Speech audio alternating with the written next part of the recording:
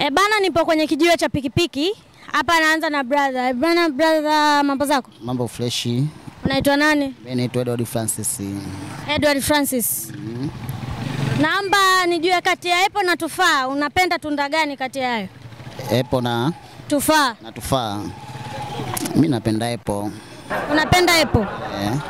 Kwa nini unapenda epo?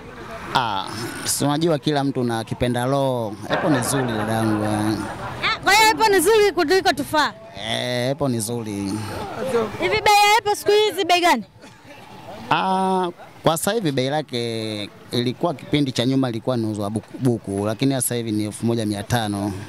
Ah, kwa hiyo epo elfu moja mia tano. Haya, sawa. Brother akasema anapenda epo na akatupa na bei ya epo kwamba bei ya epo siku hizi ni elfu moja mia tano kutoka kwenye buku.